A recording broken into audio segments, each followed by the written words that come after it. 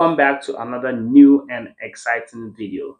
I'm so excited to share with you this two exciting, beautiful country in Europe that you could go and visit. Or you could actually go there as a student, or if you want, you could actually move to those country entirely and you are going to have a peaceful life. I'm not just going to be sharing those two countries with you.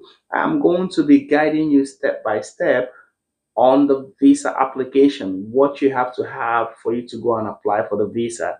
And the visa is straightforward and easy.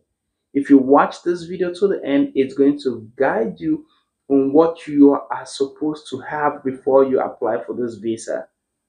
Before we jump into the video, Please, if you enjoy any content that I create here, please kindly subscribe to this channel and take a moment to give this video a huge thumbs up. I would really appreciate it and that way it's going to help me create more video and YouTube algorithm is going to move this video to those that wouldn't want it the most. So, first on my list is going to be Slovenia. Slovenia is a country that it's in Europe. And for you to get to Slovenia, you are going you are supposed to have a Schengen visa. I know a lot of people struggle trying to get a Schengen visa because when they talk about Schengen visa, they think about moving to Germany. They think about going to Spain or going to Italy or maybe going to all the big countries, Austria, Netherlands. These big countries, they are designed to take your money. Yes, they are designed to just take your money. You could actually spin the wheel around, go get your Schengen visa from the smaller country, and then eventually, if you want to, and move to the bigger countries. And that is what people have been doing, and it's working for them. But people don't know those three. You see, a lot of agents will come out and tell you, hey, we need you. I'm going to get you an invitation for you to go visit Germany. This invitation does not guarantee your visa. Invitation is just a piece of paper where someone state that I, blah, blah, blah, blah, blah, will be responsible for your stay. And when you come, you stay here, your feeding, your accommodation, and all of all that. In the eye of the CEO, the visa officer, it does not guarantee nothing. So take a moment to watch this video to the end. That way you can start applying all this trick that I'm going to share with you right now and start applying for your own visa without worrying for anything, okay? That is what I do on this channel to help you confidently achieve your immigration journey. If you want to apply for a Slovenian visa, what you need to do is to first fill out the visa application form. I have my notes right here that I'm going to be looking. You fill out the application form. You make sure you have a valid passport. You make sure you have an identity photo. You make sure you have an insurance. You make sure you have a travel itinerary, which is going to be your flight ticket. Okay. You make sure you pay for your visa fee and also your financial means. And again, you make sure you have an invitation letter or you have a place to stay. That is what the agents won't tell you. They call that invitation letter. You need an invitation. You don't actually need an invitation letter. The only reason why you're going to need an invitation letter or you think an invitation letter is going to favor you is when you have somebody in the country that you're going to visit. That is when it's okay for you to say, hey, uncle, hey, brother, can you please send me an invitation letter? Let's say I don't have anybody that can send me an invitation letter and I have all the things that they require. Does that mean I cannot go visit? No, I can. I can actually book myself a hotel where I'll be staying, which is proof of your accommodation. Because, like I said, that's what the invitation letter also covered.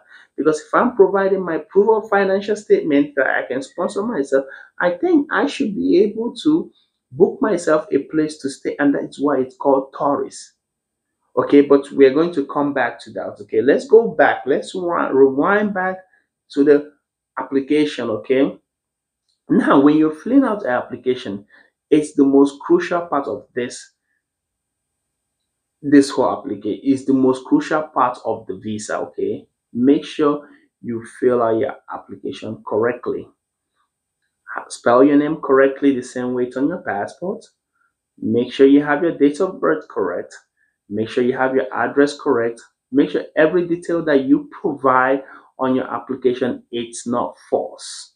Make sure it's verifiable because that is the top notch of the whole process. That's what they're going to scrutinize, and which is easy. What is there for you to fill out my name, your address, and all of. You don't need anybody to do that for you. That is all they are asking for on the application form. The next is your photo ID, your identity photo, okay? And the photo ID, the only thing they are requesting for is for it to have a white background.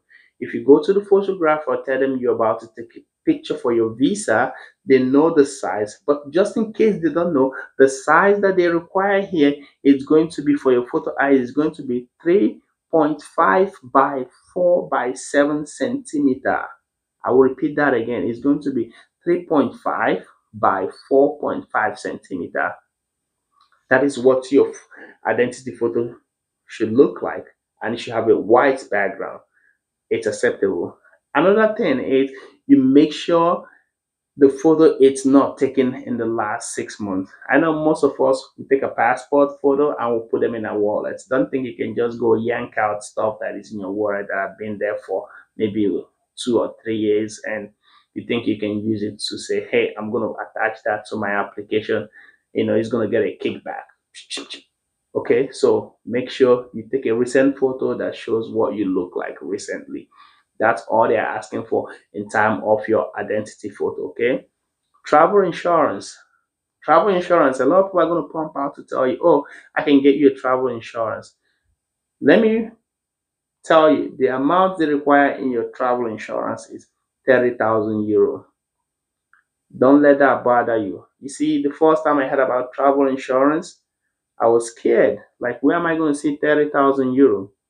They have an insurance broker that they can actually give you a quote of this insurance that is going to carry up to $30,000 in medical. And that is what they're asking for. You can get them as low as $100, depending on where you are in the world, depending on what country you're watching this video.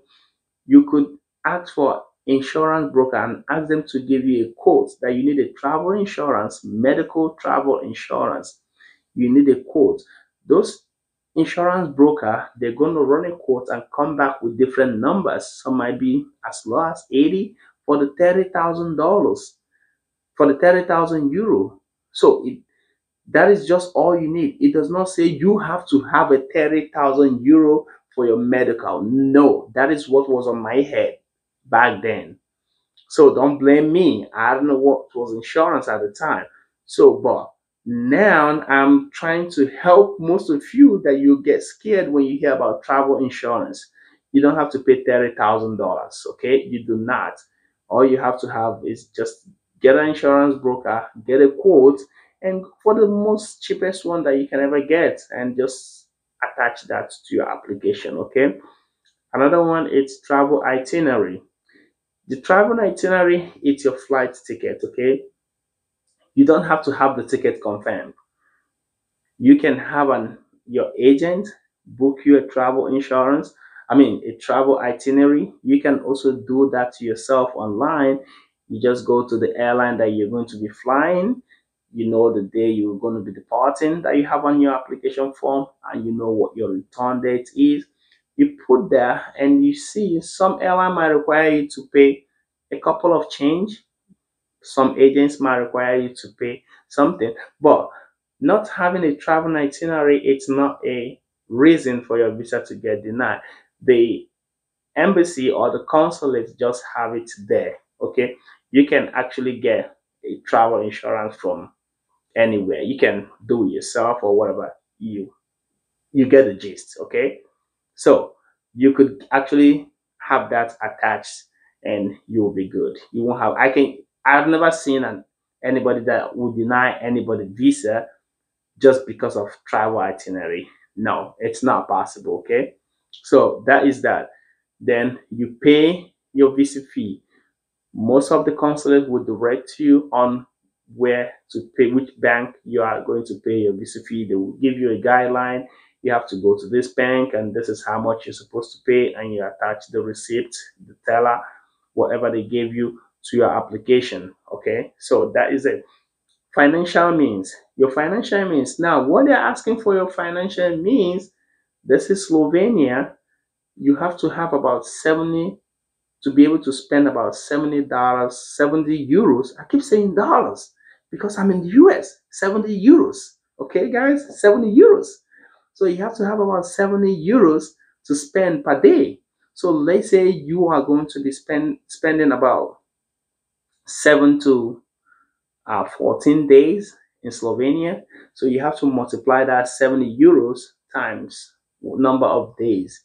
But that does not mean that you have to have just that amount. Try to have more extra, you know, so that that is actually going to help to boost your visa to show that you have the financial means to support yourself. And again, the last I'm going to talk about here is the accommodation, proof of accommodation or an invitation. I know I kind of talked a little bit about it at the beginning of this video, but I tell you what, if you don't have a family in Slovenia, you can go to bookings.com, you can go to hotels.com, you can go to whichever website that you're using and make a hotel reservation and you attach that to your application and you are going to be good for you to put this application together, boom, submit it to the consulate or to the embassy and you are good to go. You see, like all these steps that I listed, this is something you could do. So tell me, why would you want to go pay somebody to do all this for you? And at the end of the day, the person, it's whatever they are doing, it's not guaranteed. Because this is the same thing. They might watch this video, take this step, and you know, execute it and get your visa, or maybe you know, they wouldn't favor them, but this is something that you could do yourself, okay? So that being said, these are the steps that you need. In case if there is any part of this video that you are kind of you need more clarification, please comment on this video and I'm going to respond to you and clarify what I mean and how you can go about it. Okay. Now let's talk about Slovenia. Why Slovenia? Slovenia, why Slovenia has the most easiest visa in Europe? It's because the country the, do you know that the unemployment in Slovenia is about 4.18%, 4.18%, compared to Spain. Spain is about 28.0%. Italy is about 24.7%. Sweden is about 22.1%. So you can see people don't talk much about this country. Their unemployment is really pretty low, and you can actually get there and begin to live a better life like you have a good job, you're not going to be stressed out. And the cost of living, the cost of renting a one bedroom apartment in Slovenia, it's somewhere around 450 euro to 500 euro, which is not bad at all compared to here in the United States where we pay about 12 to 1500 just for one bedroom, depending on the area where you live. If you live in the big city, you are looking nothing less than $3,000. So you know and it's at the end of the day it's all about better life okay? So like the taxi you can take an, a taxi on uber in slovenia for less than 5 euro. You can actually afford your meal for a whole day for less than 15 euro.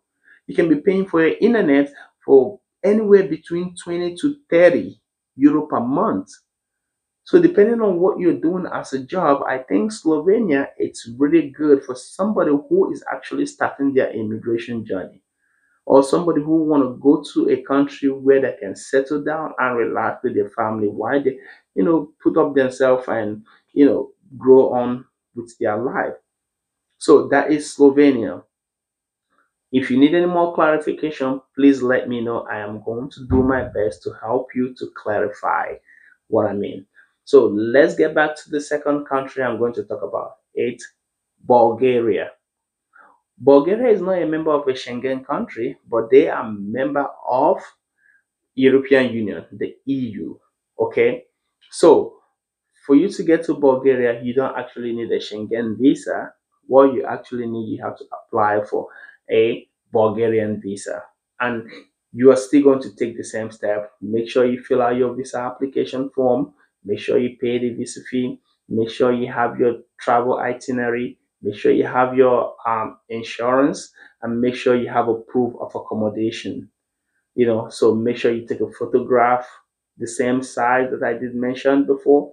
That's what you're going to need. And you put them up together and you submit, you pay your visa fee, you submit it to the embassy or the consulate, depending what is in your country. So the visa application it's almost the same, but the only thing is you if you're applying for a uh, Bulgarian visa, you have to apply to get a Bulgarian visa. You are going to Bulgaria. It's not a Schengen country, but it's a good place to start. You can actually move to Bulgarian, you know, become a resident in Bulgarian. And if you want to go to a Schengen country, it's going to be easier for you to go to. It's very easier. Bulgaria has a border with Romania, has a border with Greece, Norway, and they also have a border with Turkey. So you see, you have a good country that surround you, unlike Slovak Slovenia that has a border with Sweden. I think they have a border with Sweden, Italy, Austria, Hungary, and Croatia. So I'm talking about the border that surrounds Slovenia right now, you know. And I'm actually going to make another video about Croatia. I love Croatia. I've been to Croatia and the country was so nice. But as a matter of fact, since I've lived here in the United States and all around the world, I barely see people talking about Croatia. But this country, they are really, really good country to go visit. You're going to love it. Absolutely. I lived there for a couple of months. I love it. And I know you are going to like it so well. Okay. So if you need any more clarification on this video, please contact me. Let me know. Subscribe, like, and I will see you guys on my next video. Peace.